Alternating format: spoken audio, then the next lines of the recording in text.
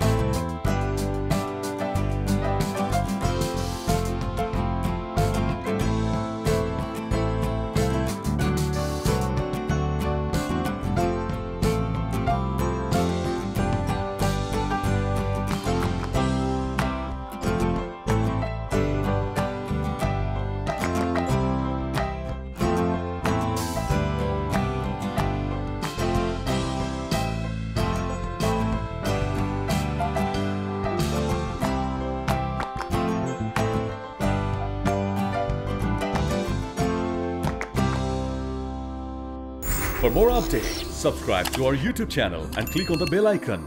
Follow us on Facebook and Instagram. Don't forget to like, comment and share. Visit tsports.com.